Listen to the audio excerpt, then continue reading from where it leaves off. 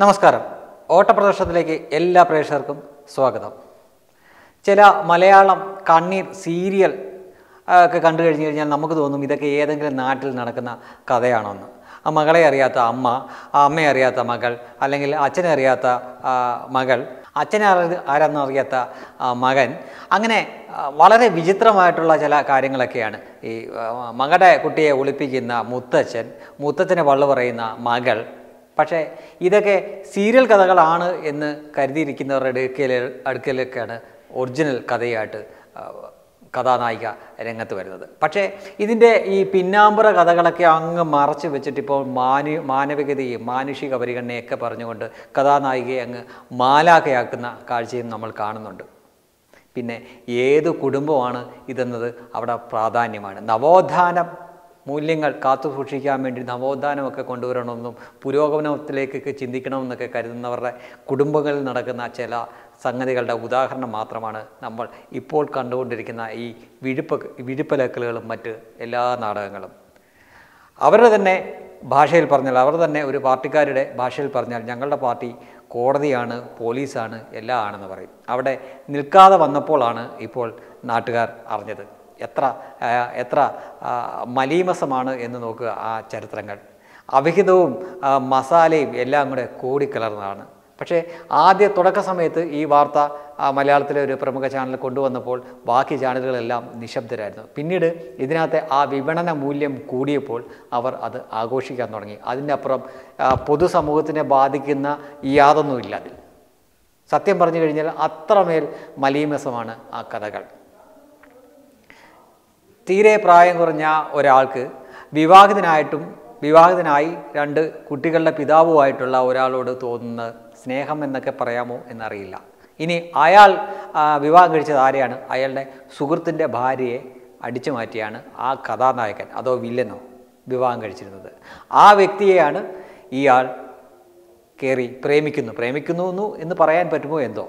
എന്തായാലും അതിൽ ഒരു കുട്ടി ഉണ്ടാകുന്നു മൂന്നാം പക്കം ആ കുട്ടീനെ കൈമാറാനുള്ള പേപ്പറിൽ ഒപ്പിട്ട് കൊടുക്കുന്നു. അതിനുശേഷം നീണ്ട കാത്തിരിപ്പാണ്.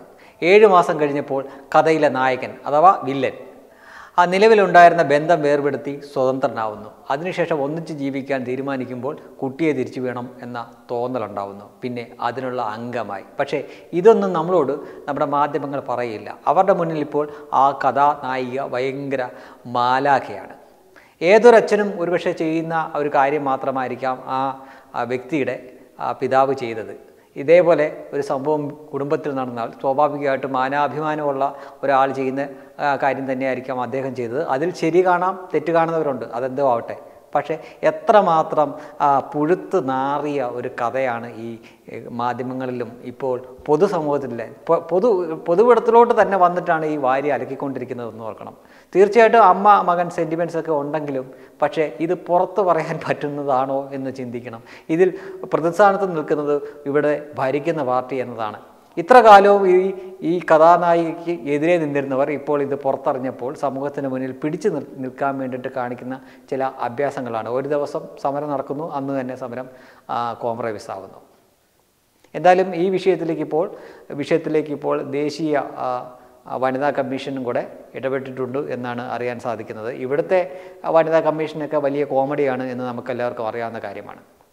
ഇവിടെ ബിനീഷ് കോടിയേരി എന്ന വ്യക്തിയെ അറസ്റ്റ് ചെയ്യുന്നു. അവരുടെ വീട് റെയ്ഡ് ചെയ്യാൻ വരുമ്പോൾ അന്ന് വരെ നമ്മൾ കേട്ടിട്ടില്ലാത്ത ശിശുക്ഷേമ വകുപ്പിലെ ടീമെല്ലാം ഓടിപ്പാഞ്ഞ് വരികയും കുറേ അഭ്യാസമൊക്കെ കാണിക്കുകയൊക്കെ ചെയ്തതാണ്. പക്ഷേ ഇത്തരം കേസുകളിൽ ഇതെല്ലാം നാട്ടുകാരറിഞ്ഞ് എല്ലായിടത്തും എല്ലായിടത്തും മുറിവുറുപ്പായപ്പോഴാണ് അവർ സ്വമേധയെ കേസെടുക്കാൻ തയ്യാറായത്. അതുവരെ പരമാവധി ഇത് ഒളിച്ചു വെക്കാനാണ് നോക്കിയത്.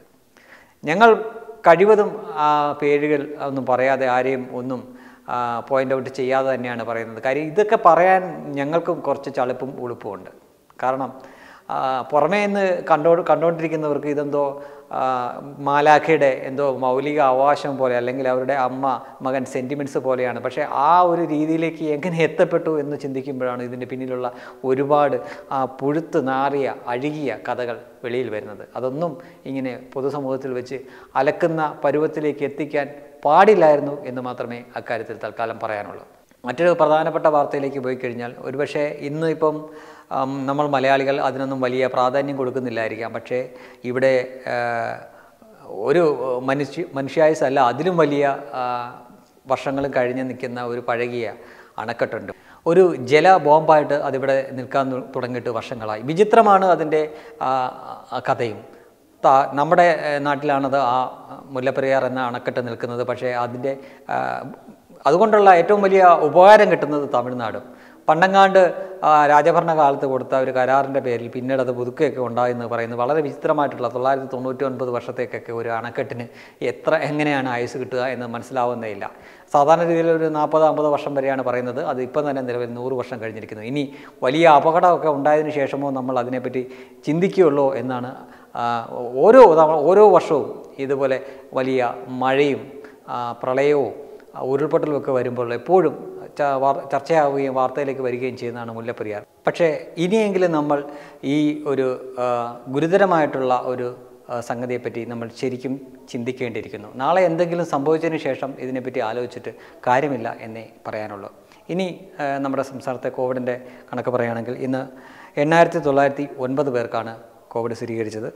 പത്ത് ദശാംശം മൂന്ന് നാലാണ് ടെസ്റ്റ് പോസിറ്റിവിറ്റി നിരക്കുന്നത് ഇന്ന് അറുപത്തിയഞ്ച് പേരാണ് കോവിഡ് മൂലം മരണപ്പെട്ടതായിട്ട് സർക്കാർ തന്നെ തരുന്ന വിവരങ്ങൾ. എല്ലാവരും സുരക്ഷിതരായിരിക്കുക. ശുഭരാത്രി. Web desk Thathamma news.